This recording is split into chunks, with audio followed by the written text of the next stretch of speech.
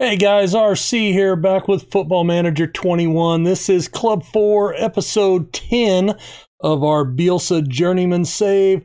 We are at Levante in the Spanish First Division. Remember to hit that like button if you like what I'm doing here. Uh, that's the only way I ask you to support the channel and uh, subscribe to the channel for daily Football Manager content. Uh, taking a look at a couple of things before we get into the matches today. Uh, we have uh, an A minus grade from the board. The only thing they are uh, concerned about or criticizing is that we lost five to three to PSG last episode. Um, do they realize it's PSG? Just saying. I'm just saying. You need to get a grip on reality here, board member dudes. Uh, so we've got B's, B's in just about everything. Uh, transfers are C's and tactics are C's. Frequency of goals. I get it. I get it. Uh, also, in some other news, you remember a while back we had asked them to upgrade the training facilities and the youth facilities? Well, those are completed as of uh, September 27th and September 30th, so just a couple of days ago. Uh, I went back in and asked them to improve both again. Uh, they did agree to improve the training facilities, so that has started uh, today and will be finished in a couple of months in February. So that's good. Uh, they did reject the youth facilities, which I'm a little upset about because remember, one of the goals here is to develop the best youth system in the country. Got to have the best youth facilities if you want the best youth system. So they're not helping me achieve that. I also don't understand this that they're disappointed in reaching the Champions League playoffs. I guess that's the knockout stages, if I'm correct there. We've only played one match out of six. It's a little early to be jumping on my shit list. You know, if I get too much flack out of that after the Champions League, I might walk. Remember, this is a Bielsa style journeyman. Uh, we talk about that in depth in the intro to the series. So if you didn't watch that and you're kind of wondering what that means, go check it out. Uh, I think I've got the link in the description. I'm pretty sure I put it in there permanently. But let's get to the matches today. Uh, we did play a few matches. Uh, after the PSG loss, we uh, drew with Gijon nil nil, a 4 2 win over Real San Sebastian. Antonio Gonzalez scored three goals in this one, and we'll mention him again in just a minute. And Valencia, our rival, is uh, a 3 3 draw, and they got a 92nd minute equalizer. I was a little gutted by that, but uh, what are you going to do? It's a rivalry game. So we talked about Antonio Gonzalez. He has 80 goals for our club, and that is the club record. Let's see. Yep, most league goals by a player, 80 by Gonzalez. And I thought there was a way. I gotta say, there's a there's a game. If you guys haven't played it, it's similar to Football Manager. It's a management style game. Uh, you are not the manager of the club. You are more the director of football for the club. So in American baseball, it's called a, a general manager or a GM. And it's so it's a similar style game as football manager where you, you know, you buy, sell players, but where where that game outshines football manager, and don't don't get me wrong, I love football manager. You notice I don't do out of the park baseball on my channel. I have, but it's not my main series. Football Manager is. But one place that it outshine that that game outshines Football Manager is in the stats and the histories. So, just for example, in that game, there would actually be like for the Spanish First Division, I could go there and I could go into records and then I would be able to click on most goals. Now, right now it shows Messi with 50, but I could click on this, and each one of these would have its own page, its own window that would open, and I could see the top 100 players or the top 50 i could determine how much how deep i wanted to go. So you know whose record did lionel messi break? I don't know do you know? If you know more power to you but i bet most people don't. So that's a shortcoming of this game. I've recommended that every year for about the last four years and i've always kind of been ridiculed for it. But i think the historical depth uh, the ability to see the history, not just the current record holder, is by far um, superior in that other game. Just my two cents. Um, and that's one of the things I would like to see. But anyway, new record for Gonzalez. That was where I wanted to go with that. And I went on a rant. My bad. All right, let's get into the game against Rangers. We are away in this one. So we're going to go with Francisco in goal, the back four, Robinson, Navarro, Kovac, and Garay, Nadrick Nass, and Enrique in the midfield, Garcia and Ibanez on the wings, Illimarindi and Gonzalez up top. The new record holder in goals scored for Levante. And Illimarindi might be lining that, that uh, record up in his sights. he has been off to a good start to his career. That's an interesting uh, with the opening in the corner. I like that stadium. That's kind of cool looking. Ibrox. Gers. All right. Let's give some encouragement. Back post, but Francisco gets there. Doherty tries to harass him a little bit. Francisco laughs it off. It's over the top. Illimarindi's on, and oh, he tried to dink the keeper. I don't think he would have been able to get a, a shot low because I think the defender was there. But uh, that was a great effort by Illimarindi. He has turned on his man, Gonzalez, and it's slotted home. Illimarindi, his seventh of the season, and we take a 1 0 advantage over Rangers. Where's our fans? I'm looking for them. There they are down in the corner, eh? Gotta like it. Looks like we had a full contingent make the trip. Thank you very much. And it is Rangers nil, Levante one. Oh my God. Wheel at the back post. Josh Wheel. That's uh that's our former player, isn't it? It is. I don't want to watch him score against me again. Oh, where's he at? Yeah, he's 30 years old now. Leicester. Yeah, we we picked him up for 36 million. Or actually no, he was already at the club because we remember we came out of the championship. So this was the first year I was at the club. 10 assists, 10 assists and then he just started losing his way. Last year, of course, I was here, and then they sold him for 19 million, about half value. But still, Mr. Wheel, one of our former players, come back to haunt us. And they're playing a stacked box in the mid. That's interesting. You don't see a 4-2-2. That's kind of something out of uh, the England national side, right? Let's demand more. Navarro, near post, cleared out. Doherty's on it. Navarro gets to it, steals it away. Oh, there's a good through ball. Nadrick Nass. Garcia. Into the box. The volley from Ibanez goes high. I didn't even look at their lineup before the game to notice Wheel was there. That's crazy.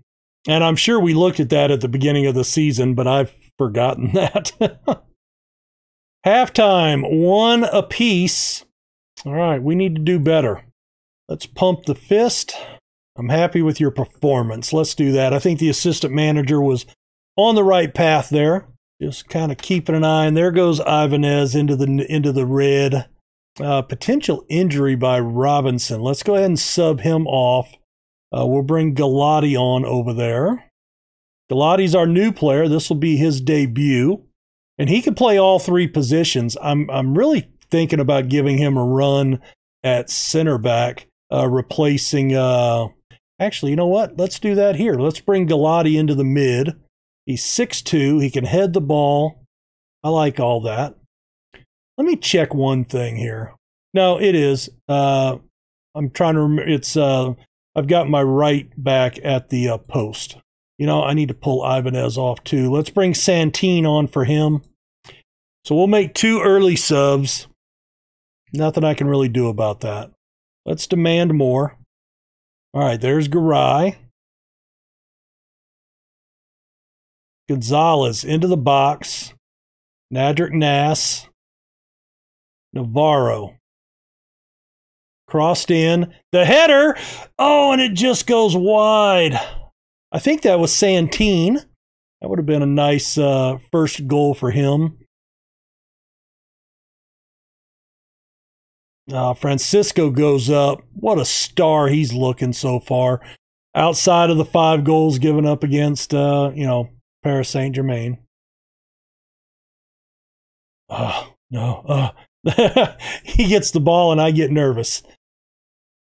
Knocked away. And Francisco was sitting down. What the hell was that? What was that?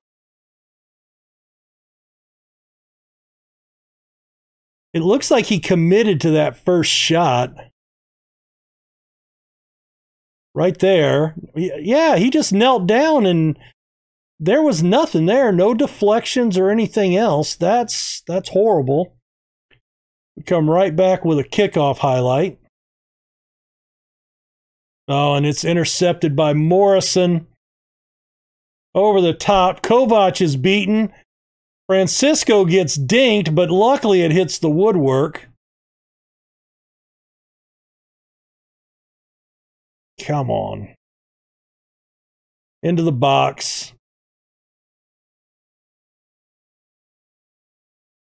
Oh, Kovac is beaten again.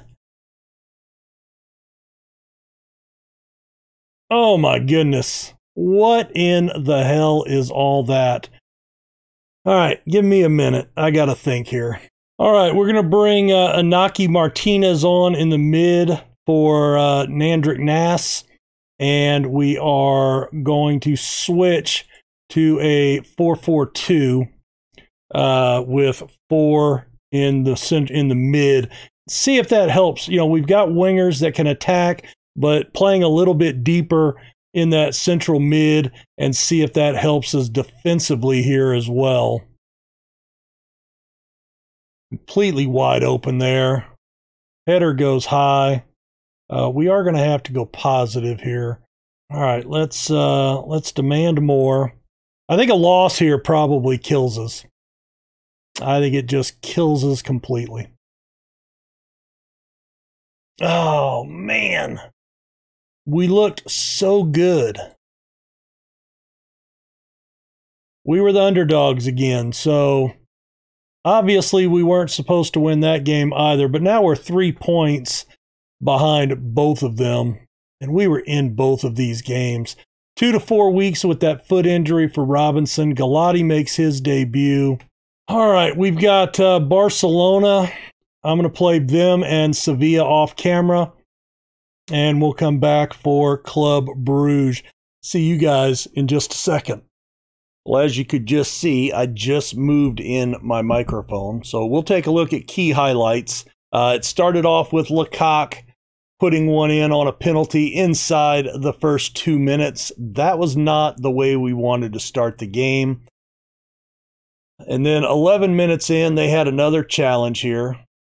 Took a shot, knocked aside by Francisco. I'm going to speed the match up here for the replay.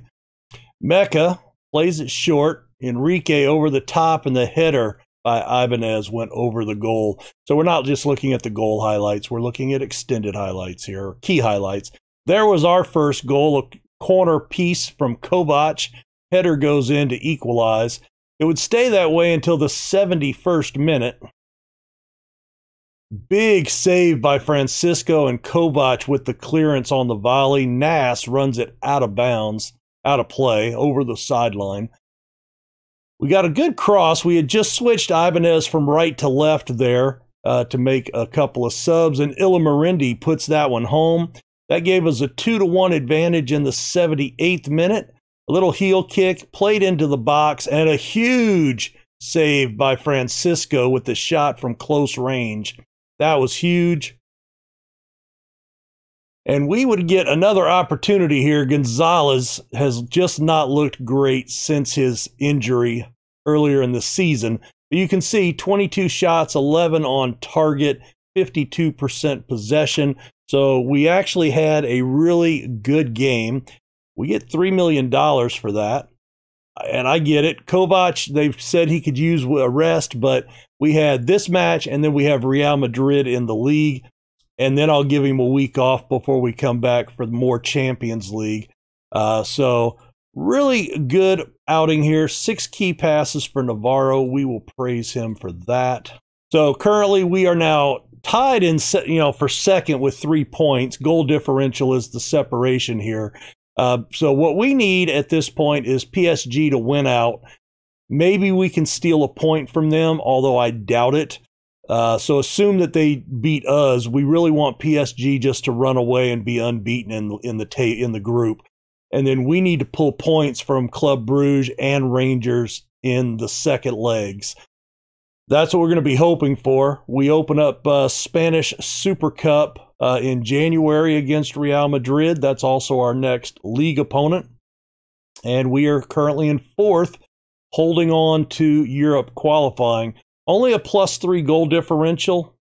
We haven't been scoring a ton, and we've been leaking a lot of goals. So, you know, it's it's you know, take a look here at the table. Uh, and ever since we started Champions League, we've really struggled. Just you know, one win uh, across, you know, outside of the one today against Club Bruges. So I'm I'm thinking about another tactic. I really don't want to give up on this one because we we had started off so well. We did try that 442, the you know the, the base 442, and we got blown up with that. So I don't think that was the answer. Uh, we're using in the other save, we're using a uh, four three one two uh, with an attacking mid and uh, two strikers, which I like. And I think with our striker duo, I think we need that to take advantage of the best players that we've got. Uh, I need to see what that does to Ibanez, however. And I think what I might do is I might put it into the rotation so we start training it and give it a little bit of time before I actually pull it out in a match. So, uh, anyway, moving ahead, we're going to be uh, playing a couple of games uh, in the league. We will come back uh, for Club Bruges and PSG next uh, video, next episode. Uh, we'll do Club Bruges for sure, and then probably I'm just assuming we're going to get drilled, but I still think we need to watch it. So uh, we'll come back for the double Champions League uh, next episode, and then we'll probably skip down to uh, Espanyol highlights, Rangers uh, on video, and then uh, we'll come back for. I don't think I'm going to do the Super Cup. Uh, we'll probably definitely be back for Real Madrid back here, maybe a Barca Real Madrid uh, combo there, depending on what's going on with Champions League if we get out of group stage. So don't forget, hit that like button for me, subscribe for daily football manager content, and uh, we'll talk to you guys later. Bye.